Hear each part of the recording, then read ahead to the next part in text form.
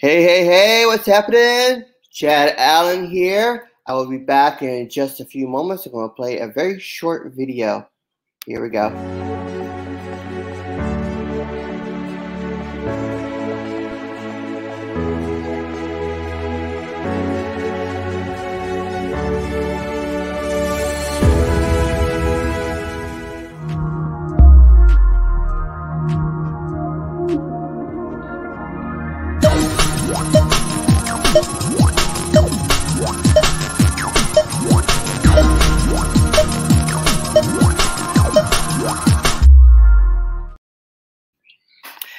Hello, hello, everyone, and welcome to my live call. My name is Chad Allen, and today we are going to be discussing about vitamin C and how it can be very beneficial to you and uh, the history of it as well. So we are going to be having some great discussions uh, about this very topic because a lot of people have asked questions about vitamin C and what the benefits are of vitamin C. So, if you like, uh, please share this video with your friends and family and share it. Uh, also, be a uh, comment below and say hi to me, and I'll be sure to say hi back. And also, um, if you are are here for the first time, please uh, state that as well. Okay, so let's get started about uh, vitamin C. So again, what we are going to be doing is that we are going to be discussing uh, about the history, about uh, how vitamin C works in the body, and what are the benefits of it. So, so this is my daughter. Say hi, hi, Sarah. Hi. Okay, I'm gonna put you down. Okay. All right. So that's my beautiful daughter. She's so amazing. So so the benefit, so vitamin C has been around for a long, long, long, long time. So of course, since the creation, and so what we back in the 1700s, uh, there was a scientist. I think a scientist Lind. There was like one other guy. I can't remember who it was, but anyway, they started studying. Uh, they did uh, experiments with uh, with a diet that became nutritionists and stuff like that, and then the the one of them said, "Okay, let's do a uh, a a study on if I just ate bread, and then if I just uh, and I took away all the fruits and whatnot, and didn't eat, didn't really eat any of those things, and I'll slowly add those things back in." Well, that guy, what happened was he ended up developing scurvy. and he ends up dying from malnutrition because uh, he did not have enough uh, vitamin C in his body. Well, the other person uh, learned that whenever uh, sailors ate citrus fruit, that they would become that they uh, will be protected against uh, against the scurvy. So the British uh, government decided in uh, in the 1700s to make sure that everyone, that every ship every sailor had lime juice, and that was how uh, the scurvy began to uh, dissipate. But no one really knew what was causing the the scurvy to go away, and it wasn't until 1930s where you had another scientist, and I cannot pronounce his name, but you can go to my blog, uh, blog post at chadallan.net and you can uh, check out his name there. I don't want to butcher his name it's a it's a it's a very hard name to pronounce. But anyway, so he discovered that in citrus fruit there were uh, this vitamin that was called vitamin C, and this was the element, the vitamin that would that stopped uh, scurvy from happening. And so today, vitamin C has become a major, major, major part of our diet and our nutritional um, supplementation as, as as a whole. And so, what so what this has done is that we have now seen where we are taking uh, vitamin C, and vitamin C is actually effective for many, many other things. Now we are seeing people start taking vitamin C for uh, colds, for whenever they uh, or they get the flu or whatever, and they start uh, taking in more uh, vitamin C, and then they find themselves getting better because the vitamin C is no longer uh, is no longer a a uh, it's no longer as the duration is not as bad. It's a lot less, and people are you know getting a little bit healthier overall. And hold on, I, I apologize about the noise, sweetie. Can you put this uh, on lower for a moment? Yeah, just a little bit. That's all. There, there you go, sweetheart. Okay, so I'm back.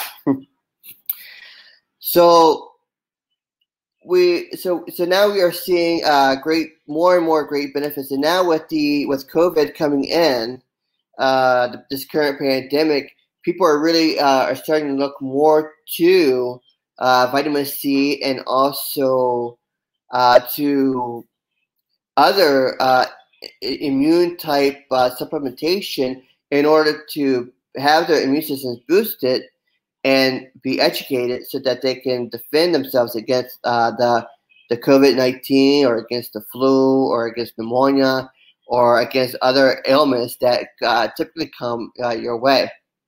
So again, you can go to my web uh, page, my web blog at chadallan.net, C H A D A L L A N dot net, or chadallen.pro. That's C H A D a L L E N dot pro. And there you can read all about this uh, uh, article. So, so let's uh, let's go ahead and continue. So, what are the benefits of of or how? Let me let's let's go with how do, how is how does uh, vitamin C actually work in the body? Because before we actually talk about the benefits of vitamin C, let's gain a very quick knowledge of how vitamin C actually works in the body and why. And this will lead into why we are seeing the kind of benefits that we are getting from vitamin C. Uh, and this is uh, something that you don't always get with other uh, vitamins, but but vitamin C is, is a very uh, good uh, vitamin to have in your in your in your diet. So how vitamin C actually works is that it helps to uh, break down, helps to use the fats, the carbohydrates, the proteins, uh, and it uses them in an effective way in order to in order to uh, it's it's like taking allowing your body to use them in such a way that they get benefit from it. So when you don't have vitamin C in your body, this is why malnutrition begins to happen because you know you're having the fats there, you're having the carbohydrates, you're having the proteins, but they are not being properly uh, broken down. They're not being used in a, in such a way that becomes beneficial to them, uh, to the body. So when you when you uh, have the vitamin, vitamin C, the fats and the carbohydrates and proteins are being broken down and also being used uh, more effectively to build to, in order to give you more nutrition. So when there's malnutrition in the in the body, you can also assume that the person is malnourished in vitamin C as well. So vitamin C is also an antioxidant. So if so in other words, what happens is as an antioxidant, vitamin C is going to help bind these free radicals. Uh, and because for, if we know when you know about free radicals, free radicals can really damage uh, body tissue. It can cause uh, it can cause uh, cancers to, to begin to uh, develop because you're having all these uh, cells going crazy. So vitamin C helps to bind these things in order to help protect the body tissue from uh, getting damaged. And you know, vitamin C also helps with um, uh, healing, uh, you know, you to have healthy bones. It allows you to have healthy gums and teeth, and also allows you to have healthy ligaments. So everything that you can think of, vitamin C is going to help you uh, in that particular area. Without vitamin C, you're going to see uh, you're not going to have the collagen that comes into the body, the, the collagen that's going to help uh, keep the, uh, your skin intact well, you know, to give you the, the kind of of uh, strong skin. You know when you get a lot of older people, they get uh, very thin skin, and whatever they touch, they tend to uh, they tend to get the skin uh, the skin cares and whatnot. But that's because of the lack of collagen that begins to happen with them, and then so it, their skin becomes much more uh, more frail. But when you're having uh, a good dose of vitamin C, when you have the right kind of dose, that it helps to build uh, collagen because collagen uses vitamin C as a way to uh, as an ingredient to uh, build more collagen. So without without vitamin C, you're not going to have the collagen. That's going to be like the glue that sticks, the glue that keeps everything intact. Your body organs, your your skin, everything. So collagen is a very important uh, ingredient to your body, and it's a it's a protein, and it's abundant. But if you don't have the vitamin C, then all that uh, begins to uh, to fade. And what happens with uh, scurvy bite when you have a, a vitamin C deficiency? What happens is that old wounds, like if you have an old wound, like so, if you're vitamin C deficient, those wounds begin to open. Your gums begin to bleed. Your gums are you know get swollen, and this is what we uh, we, we what, what we would know as scurvy, and this is why scurvy can is very very treatable, and this is why it can really become uh, a dangerous and fatal um, illness because you're become malnourished, you become vitamin C deficient, and then wounds open, it creates more infections, and then done.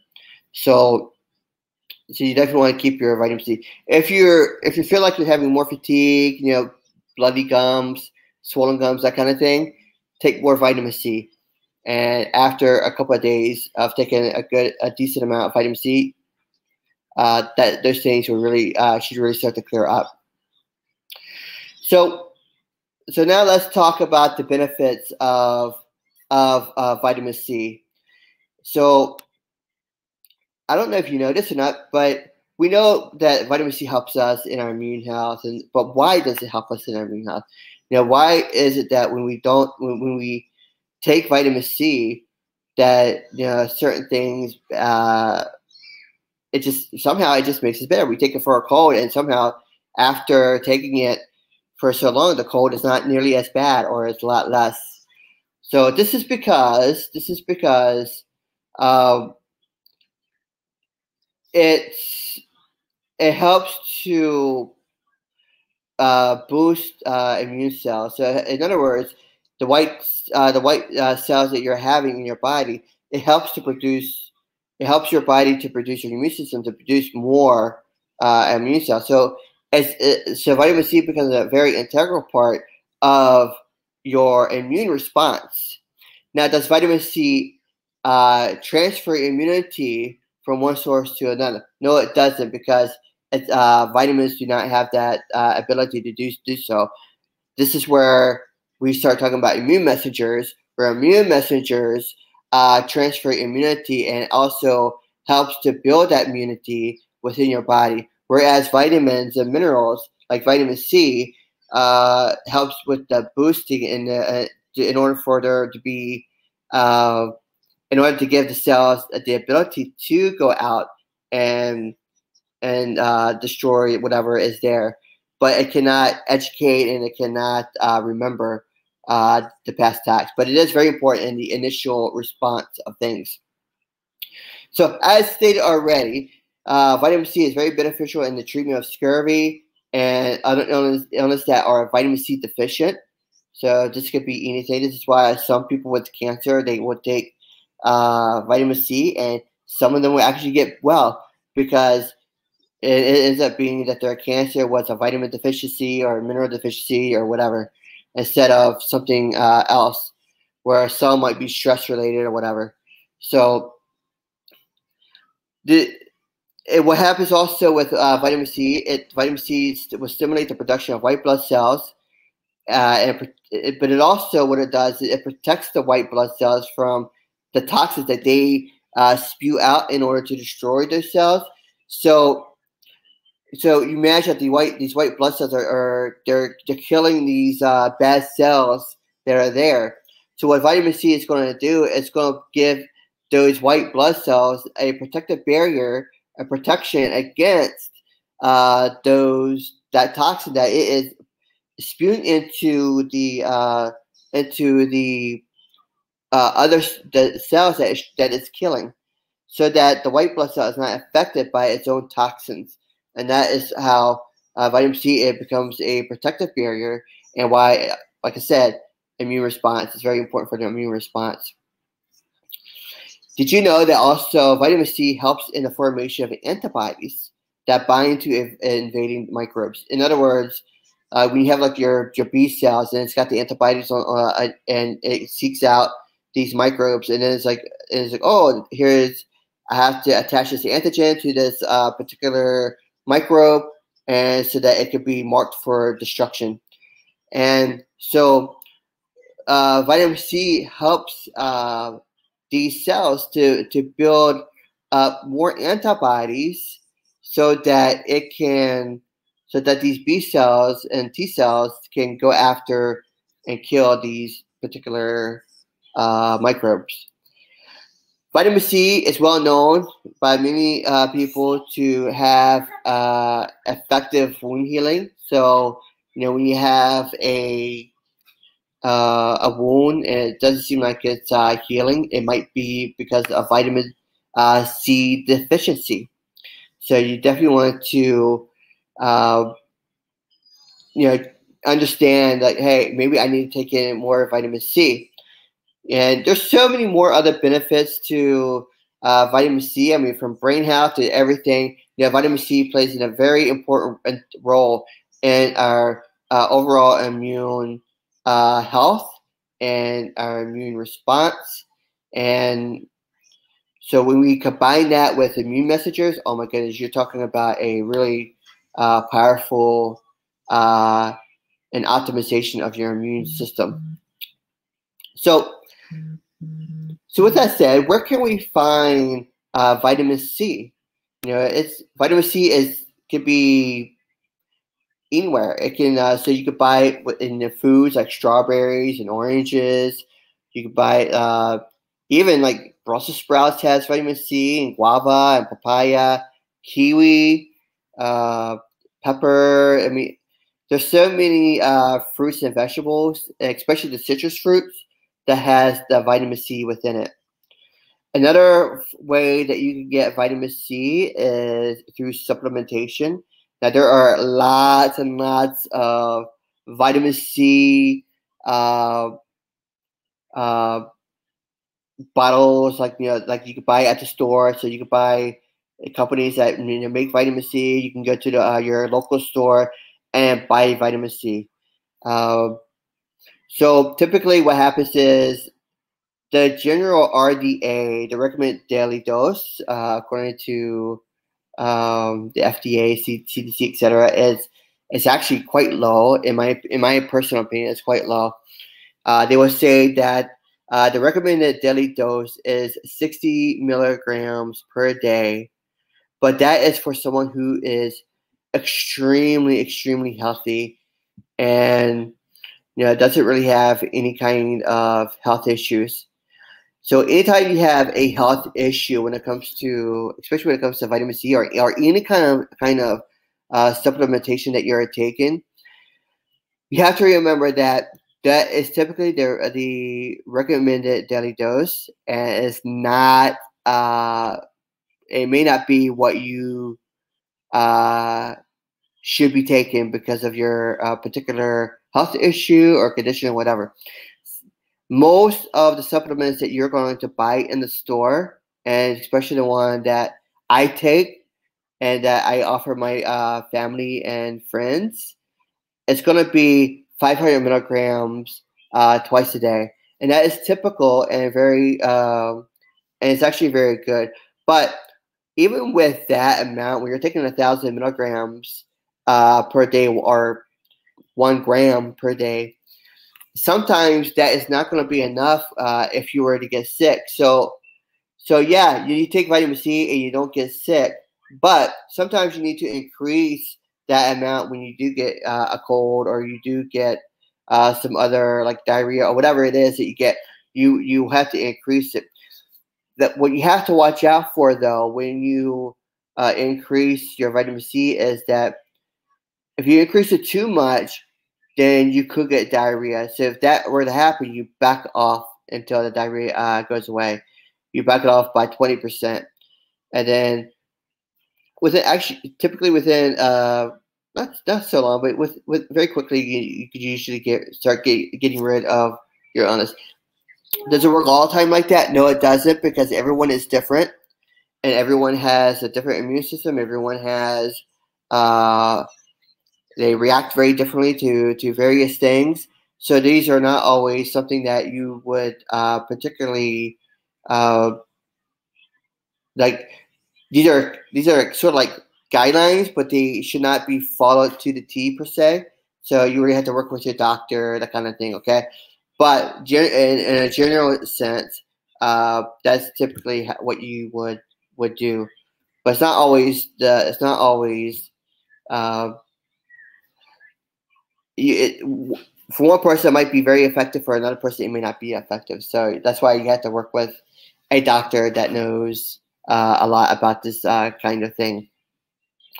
So I want to thank you for being on the call and like I said, you can visit my webpage at uh, chadallan.net, C H A D A L L A N.net, or you go to chadallen.pro, C H A D A L L E N.pro. It takes you to the same website. It's just uh, two different names. And uh, you can also click on the banner there on the homepage and you get my freebie, which is the Ultimate Health Survival Guide. And you can uh, learn more about immune messengers uh, there. You can also read about uh, the article about vitamin C and have many, many other articles there as well that you can also check out uh, online. And if you're wanting to know more about the vitamin C that I take and my family takes, uh, just go ahead and message me, and I will get with, and I'll get back with you and let you know what I take, and because I believe it's a very good product. So I thank you so much for your time share the uh, please share this video with other people and if you especially if you found benefit uh, on this and i will catch you later on take care. Bye bye